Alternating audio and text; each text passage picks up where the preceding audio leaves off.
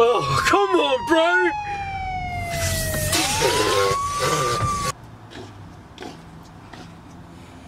Hey, officer. Uh, shut your mouth.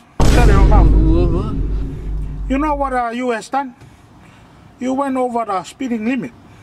So uh, I'm gonna have to give you a $500 fine. And uh, you pay into my bank account. Bruh. ASP. I'll give you my account number right now. What?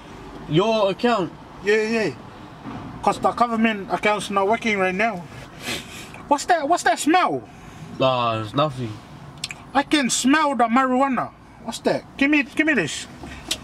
What's this? What's, No. what's this? Bruh. Sorry. This the weed, eh? This the weed. I, I'm gonna have to take inside for the evidence for uh, after work. What the hell? This is corrupt. You know what?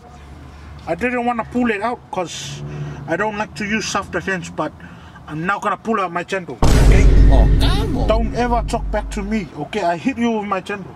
And where are you guys going? We're gonna go pick up the bro Kyunga. He's coming up the shore.